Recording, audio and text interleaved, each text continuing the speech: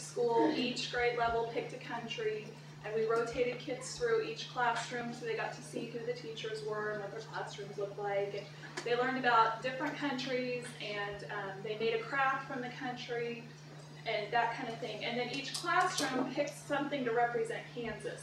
Fourth grade, we chose Dorothy. And then we sent her to New Mexico. Um, we knew she arrived in New Mexico.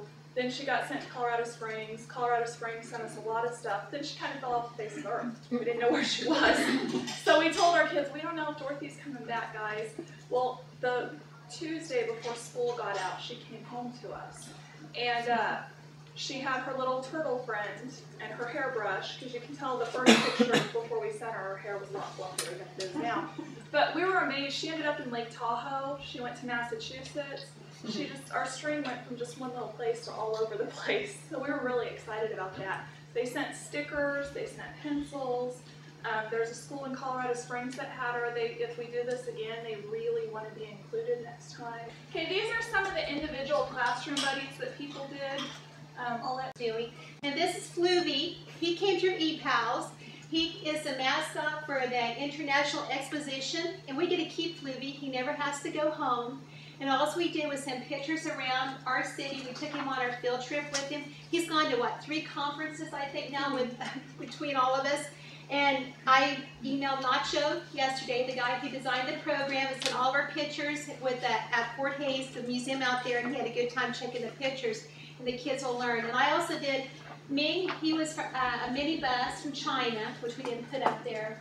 And we found him on, he was ePals again. We've done so many we don't remember. And Sunflower Sam was my other travel buddy, and you did. Baby, Baby J was the other third grade teachers. Um, she signed up for a kind of a round robin mascot exchange. They had Baby J, which was a little Jayhawk right there, and there were I think six schools or six teachers, and she would send hers to California, and California would send it on, and they would keep it for three weeks. And then when time came up, they would send it to the next person. So it just kind of rotated. Got it back. It gone all the way to Australia. That's as far as the trade reached. She got this notebook back, and it was so thick. It had all these pictures and insight into what school's like in Australia. It, it's remarkable. Um, the highlight of my year was getting Elwood. He's four foot four inches. He weighs 15 pounds.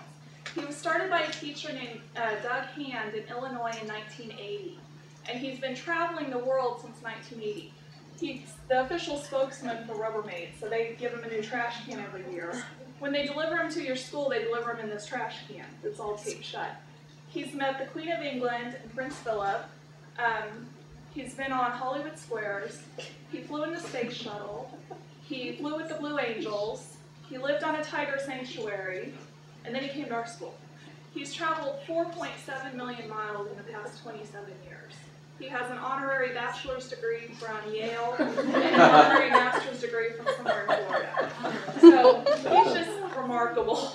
So he was our travel buddy for two weeks, and I kind of shared him with the rest of the school. He went fishing with our Head Start class and about fell in the pond. So school got out, and I had to send him back to Illinois so he could go visit his real family. Feel like we've taken our kids everywhere that we possibly could have taken them this year. Um, They've learned to appreciate where they live, they've learned to appreciate Kansas, but at the same time, they appreciate other cultures and they have a better understanding of different places in the world, which was kind of our goal.